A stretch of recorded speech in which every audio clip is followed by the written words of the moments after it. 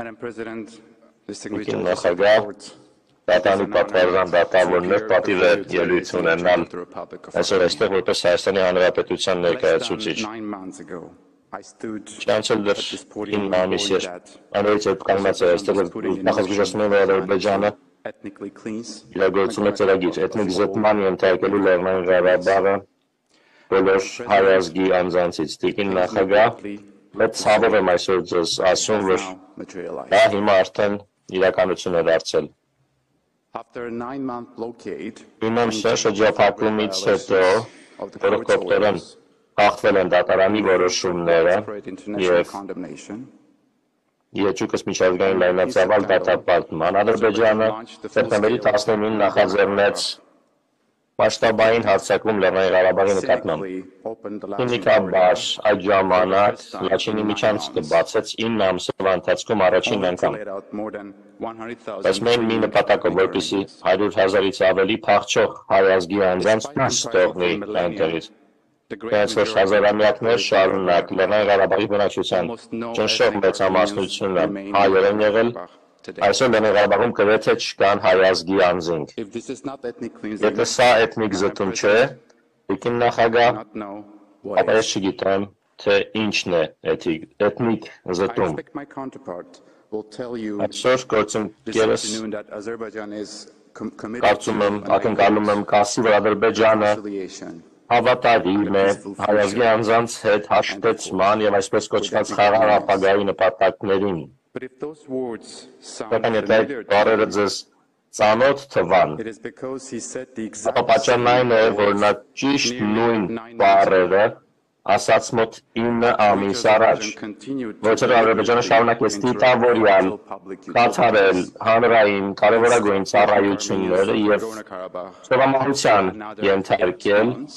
Լեռնային Ղարաբաղի հայազգի բնակչությանը եւս 8 ամիս, որից հետո բաժանաբար հաստատվեց նրանց վրա եւ ստիպեց իրենց նախնիների հայրենիքից փախուստի դիմել։ Ակնկալում եմ, որ իմ ծնկեր ներկայացուցիչը կասի, թե Ադրբեջանը թույլ է տալու նրանց, ում համարում է իր քաղաքացի, վերադառնալ։ Անուն բանը խոսացել 2021-ի հոկտեմբերին, երբ մնդեց, թե այն 2020-ին Ադրբեջան իբրև կողանցված տարածքներում Ադրբեջանը մեջբերում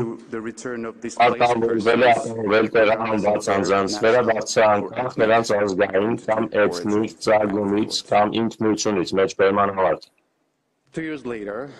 Անցել է երկու տարի եւ անգամ մեկ հայազգի անձի թույլ չի տրվել վերադառնալ այդ տարածքներ։ Փոխարենը Լեռնային Ղարաբաղում մնացող գրեթե բոլոր հայազգի անձանց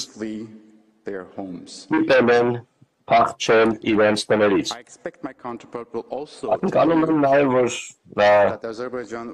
Ադրբեջանի ներկայացուցիչը կասի, որ Ադրբեջանը վերադարձող բոլոր հայազգիների նկատմամբ կվերաբերվի այս կոնվենցիայով նախատեսված Ադրբեջանի պարտավորություններին համապատասխան նախոստացավ հայազգիներին վերաբերվել կոնվենցիային համապատասխան 2021-ի հոկտեմբերին նույնպես այդ խոստումը տվեց Կատարանի կարգադրած երկու միջանկյալ միջոցները կանգառեցին Ադրբեջանին խորացնելու կոնվենցիայի իր խախտումները։ Տիկին նախագահ դատարանի պատվարժան դատավորներ։ Ուտվեք բացարձակապես հստակ մի բան ասել։ 2020-ի սեպտեմբերից ի վեր. Ռեժիմ քայլեր է ձեռնարկել զտման ենթարկելու Լեռնային Ղարաբաղը էթնիկ հայերից։ Եվ այդ դա արել է Այս դատարանում կոնվենցիայի համաձայն Հայաստանի ներկայացրած դիմումի քննարկմանը զուգընթաց։ Քաղաքական նկատառումների պատճառով թերևս միջազգային հանրությունը չի կանգնեցրել այդ գործընթացը։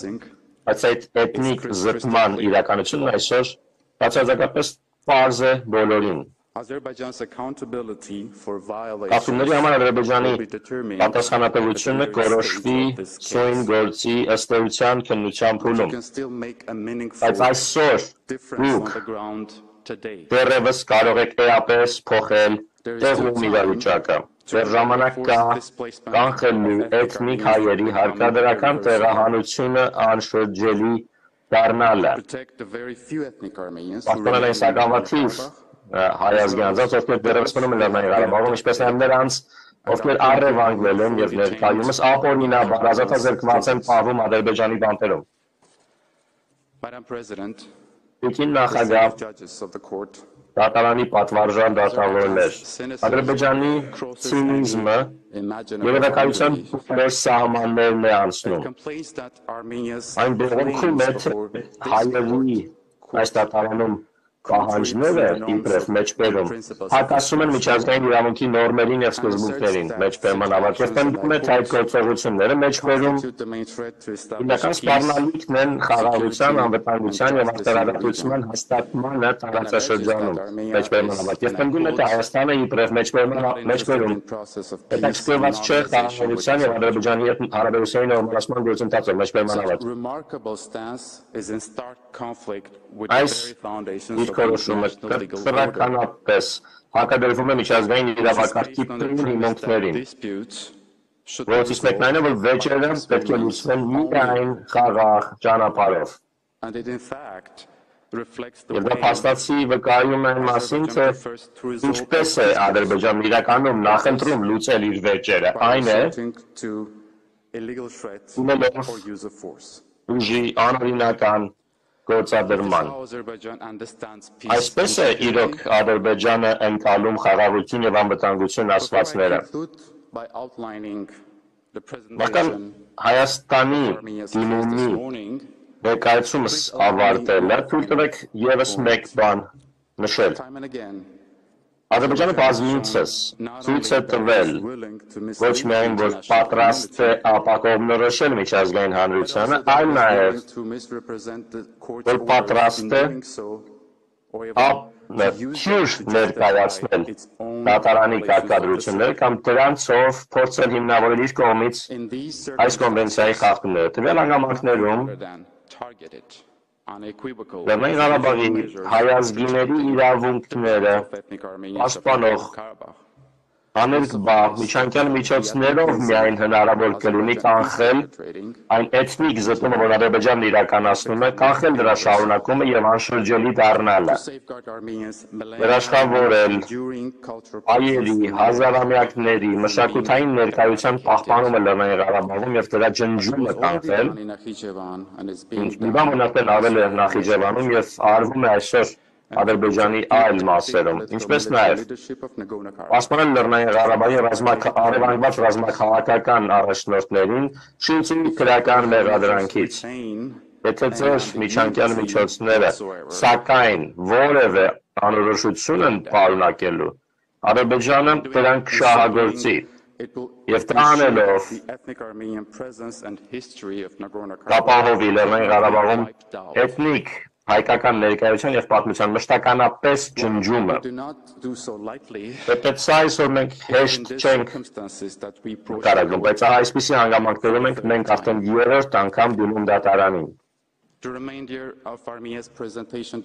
Հայաստանի ելույթի մնացած մասն այսօր կառուցված կլինի հետևյալ կերպ։ Նախ պարոն Մարտինը կներկայացնի Հայաստանի դիմումի հիմքում ընկած փաստերը։ Երկրորդ, պրոֆեսոր Սիսիլյանոսը կբացատրի, թե Հայաստանի մի դիմումը ինչու է համապատասխանում դատարանի իրավազորությանը, պաշտպանության ենթակա իրավունքները ինչու են իրագործելի եւ ինչպես են իրավունքները կապված հայցվող միջանկյալ միջոցների հետ։ Երրորդ, Լիգին Մակդոնալդը կներկայացնի շարունակվող նախական վերաբերմունքը եւ թե ինչքան հրատապ է միջանկյալ միջոցների